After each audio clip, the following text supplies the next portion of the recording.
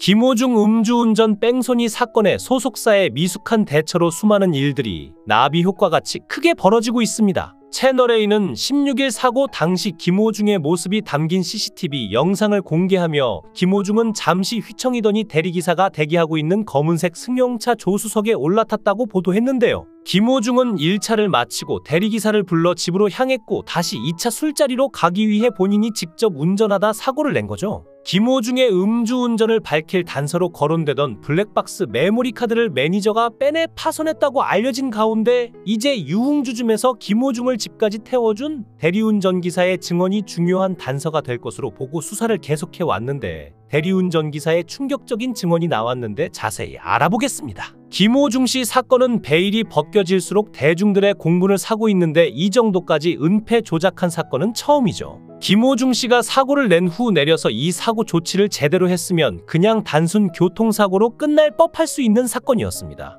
그런데도 불구하고 매니저를 시켜 본인이 하지도 않은 음주운전을 했다고 자수하게 하고 다른 매니저에게는 사고 차량에 있던 블랙박스 메모리 카드를 훼손하는 조직적인 증거인멸을 시도하는 과정에서 음주운전 뺑소니 범인 도피 증거인멸 등 여러 가지 혐의가 더해져 젊은 매니저를 전과자로 만들려는 어처구니 없는 짓을 하고 있죠. 왜 이렇게까지 무리해서 김호중만을 지키려고 노력하는 걸까요? 정상과 비정상을 넘어 종잡을 수 없다는 반응이 나오고 해명 그 자체만으로도 논란이 되고 있는데 결국 돈 문제고 김호중은 무혐의로 가수 활동을 계속 이어나가길 기대하고 있는 건데요. 지금 현재로선 김호중은 음주 구제 전문 변호사의 조언을 받아 말 맞추기를 하고 있고 검찰 조사 단계에서 무혐의가 나올 가능성이 높은데 술잔에 입을 댔지만 마시지는 않았다라고 진술한 것으로 확인됐죠. 김호중이 왜 이런 말을 했냐면 20년 이상 교통사고를 전담해온 한 유명 변호사는 수사기관이 유흥주점에서 김씨가 술을 마시는 영상을 확보한다 하더라도 김씨가 술을 입에만 머금고 있다가 다시 뱉었다는 식으로 진술한다면 혐의 입증이 쉽지 않다고 하고 수사 단계에서 음주운전 혐의를 적용해도 검찰 단계에서 무혐의가 나오거나 재판 과정에서 무죄가 나올 가능성이 크다고 하는데요. 즉 핵심 증거 인멸, 범인 도피교사 등 혐의를 김호중이 벗어날 수 있도록 소속사 입장문 등의 논리가 정교하게 짜여 있다는 것이고 사고 직후 뺑소니를 친 이유가 음주가 아닌 공황 때문이라고 밝힌 데 대해서도 법정에서 무죄를 주장하기 위한 병력 제시로 볼 수 있다는 것이죠. 지금 소속사 대표가 내가 다 지시한 일이라며 김 씨를 과잉 보호하려다 생긴 일이라고 변명하는 것은 한 사람에게 책임을 몰아주는 조폭 영화를 보는 기분인데요. 음주를 했다면 팬들에게 양해를 구하고 자숙 기간을 가지면 될 텐데 왜 이렇게 수사를 방해 하면서 조직적인 은폐를 시도할까? 간이 배 밖으로 나왔다고 할 정도로 어떻게든 법망을 피해가려는 이유는 또 하나 맞물려서 생각할 게 있습니다. 김호중 씨가 이번 주말 다음 주에도 공연이 잡혀 있는데 특히 다음 주 공연만 봐도 23, 24일 월드 유니언 오케스트라 슈퍼 클래식이 열리는데 이게 2만석이 매진이 됐죠. 그런데 확인을 해봤더니 티켓 가격이 장당 19만원에서 23만원 정도인데 시야 제한석은 워낙 싸게 팔리니까 그걸 제하고 일반적인 좌석이 이 정도에 팔린다는 건데 관련 매출을 추정해 보자면 50억에 육박하는 엄청난 금액이죠. 이와 관련해 공연 관계자에 따르면 음주운전으로 기소가 될 정도로 정말 대한민국에서 엄청나게 크게 바라보는 사안에 휘말렸을 경우 공연이 취소될 수도 있다고 합니다. 이 경우 어떻게 될까요?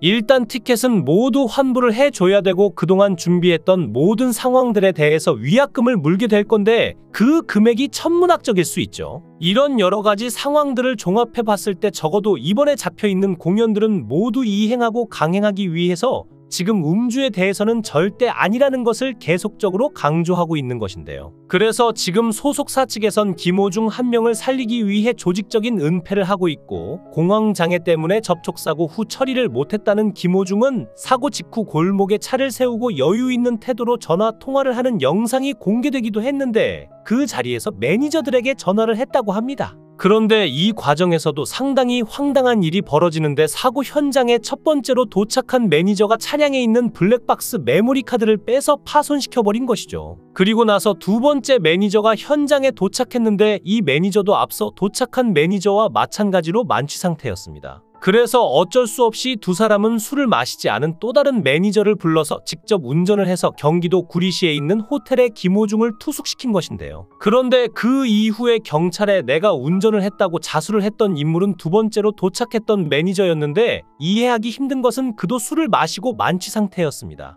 만취 상태였음에도 불구하고 본인이 하지도 않은 음주운전을 했다라고 사실상 시인한 셈인데 이 매니저 입장에서는 완전히 법적 처벌을 감수하고 경찰서를 찾았던 것이죠. 술집은 갔지만 술을 마시지 않았다. 입에는 댔지만 마시지는 않았다는 말을 곧이곧대로 믿을 수 있을까요? 김 씨의 매니저가 진실을 규명할 블랙박스 메모리 카드를 빼내 파손한 것은 압권인데 소속사와 매니저의 살신성인급 감싸기가 눈물겨울 정도인데요. 김호중의 팬카페에는 얼마나 지쳤으면 살다 보면 그럴 수 있다는 글이 올려졌다고 하는데 본질을 흐리는 궤변이죠. 연예인은 공인이고 사생활을 떠나 양심과 도덕의 관점에서 이 사건을 바라봐야 하는데 그는 사고 직후인 10일 12일 콘서트를 강행했습니다. 18, 19일 창원, 6월 1, 2일 김천 등 예정된 스케줄도 일정대로 진행한다고 하는데 아무리 돈과 찐팬도 중요하다지만 따가운 국민 시선은 느껴지지 않는지요? 수사기관에서는 김호중 씨의 매니저가 고의로 블랙박스 메모리를 훼손하자 결정적인 증거로 보고 압수수색 영장을 청구한 건데 압수수색을 해서라도 김호중 씨의 음주 사실을 증명해 보이겠다는 강한 의지를 보이고 있고 그뿐만 아니라 운전자 바꿔치기에 대해 주요 범인 도피 혐의를 적용할 방침이라고 하죠. 그러니까 지금 김호중 씨에 대해 정황상 음주운전을 부인할 수 없는 없는 증거들을 잡으려고 여러 가지 동선도 파악하고 있을 겁니다. 이 차를 타고 어디서부터 시작했고 술은 어디서 먹었고 누구와 함께 술을 마셨는지에 대해서도 조사에 들어갈 가능성이 매우 높은데요. 유흥주점에서 집까지 김호중을 태워줬던 대리기사는 수사기관의 조사에서 공황장애인지 아닌지는 알 수 없지만 공연을 앞두고 피곤해 보였고 정신이 없어 보였다고 진술했습니다. 그러면서 떠오르는 한 사람이 있는데 바로 개그맨 이창명인데요. 그는 출발 드림팀을 진행하며 한때 굉장히 인기가 많았는데 2017년 4월 20일 자신의 차를 몰고 여의도 성모병원 삼거리 교차로를 지나가다가 교통신호기에 충돌하고 차를 버려둔 채 도주를 했죠. 그리고 20시간 만에 수사기관에 출석해서는 음주운전 사실을 부인했습니다. 당연히 20시간 만에 음주 측정을 했으니 음성이 나왔지만 위드마크 공식으로 이창명 씨의 혈중 알코올 농도를 0.26으로 측정해서 검찰에 넘겼습니다. 위드마크 공식이 뭐냐면 음주운전 사고가 난 후에 시간이 많이 경과되어서 운전자가 술을 깨어버렸거나 한계 수치 이하인 경우에는 운전 당시에 여러 가지 몸무게, 음주량, 시간, 성별 등으로 계산을 하는 바로 그런 공식이죠. 그런데 결과는 1심과 2심, 무려 대법원까지 2년 동안 소송전이 이어졌는데 대법원에서 벌금 500만 원이 확정됐지만 음주운전 혐의에 대해서는 증거 불충분으로 무죄를 선고받았고 그렇기 때문에 이창명 씨 사건이 많이 회자가 되고 있는데요. 결국 무죄를 확정받았지만 대중들은 이창명 씨를 용서하지 않았는데 이창명 씨는 사고 이후에 거의 방송 활동을 하지 못했고 백수처럼 생활을 했습니다.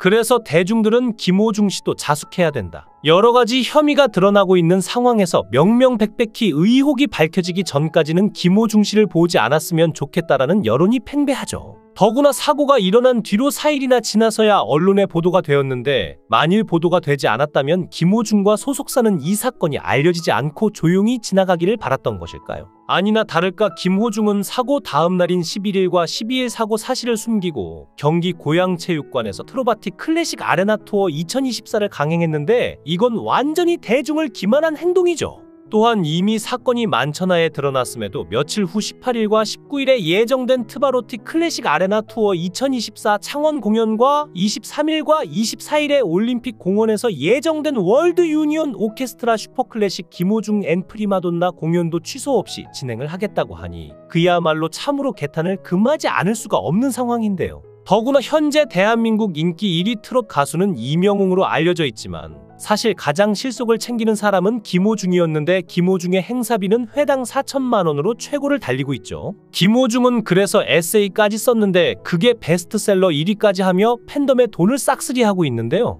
이렇게 큰 인기를 누리는 사람이 뺑소니를 했다는 기사가 보도되자 대중들은 또 김호중이냐며 또 호중이라고 비꼬기까지 하고 있는데 김호중이 대중들에게 사랑을 받게 된 이유가 원래는 불량 학생이었지만 개과천선을 해서 선한 영향력과 감동을 준다는 이유였고 그렇게 그는 과거 불량스러운 행적을 마치 훈장처럼 얘기했었던 바가 있었습니다. 트바로티라는 별명을 가진 가수 김호중의 이력은 독특한데 초등학교 시절에는 축구 선수, 중학교 땐 대통령 경호원이 꿈이었고 중학교 이종격투기 전국대회 우승까지 했을 정도로 운동 실력을 타고났죠. 성악에 재미를 붙인 건 중학교 3학년 교회에서인데 경북내고에 합격해 성악인의 꿈을 키웠지만 레슨을 받을 형편이 안 되자 선배들의 유혹에 넘어가 잠시 조직에 발을 담근 적도 있었다고 하는데요. 2009년 은사의 도움으로 방송사 예능 프로그램에 출연해 일약 고교생 파바로티라는 별명을 얻었는데 오프닝 곡으로 부른 카루소는 웬만한 성악가도 도전하기 힘든 삼옥타브 고음이 수차례 나오는 고난도 곡이었죠. 성악가 김동규는 18살이 소리를 저렇게 내기 쉽지 않다고 극찬했고 영상을 본 독일 측 연락을 받고 유학길에 오르는 기회까지 얻어서 영화 파파로티의 모티브가 됐는데요. 귀국 후 트로트 오디션에 참여한 건 대중적이고 다양한 음악을 하고 싶은 그의 열망 때문이었죠. 바람 잘 날 없는 김호중의 인생은 데뷔 전에도 후에도 여전히 혼란의 연속이지만 논란마다 사실이다 혹은 억울하다는 입장 표명으로 정면 돌파하는 그를 팬들은 굳건한 팬덤으로 응원하고 지지하고 있죠. 비행 청소년에서 성악가로 무명 가수에서 국민이 사랑하는 트로트 스타로 새롭게 태어난 삶의 굴곡만큼이나 휘몰아치는 이번 논란을 넘기고 그는 어떤 성장을 할지는 좀 더 두고 봐야 알 것 같습니다.